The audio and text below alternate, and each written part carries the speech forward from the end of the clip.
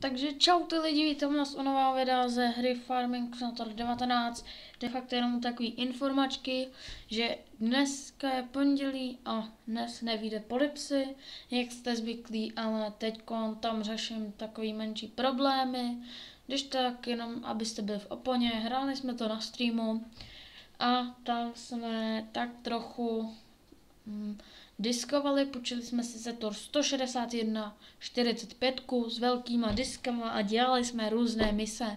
Ještě mi tam dvě zbývají. Ty se už dodělám za kamerou, když tak pondělí polipsy nevíde tohle pondělí, vyjde až to další, takže se jenom tak omlouvám a tedy.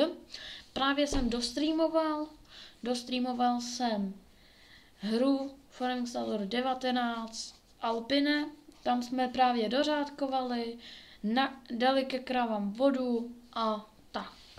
A připravili se na sbírání, ale to uvidíte až v pátek ve videu. A nebo v úterý, nevím.